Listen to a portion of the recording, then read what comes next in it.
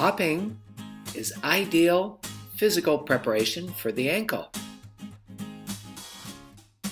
Challenge by asking kids to hobble hop.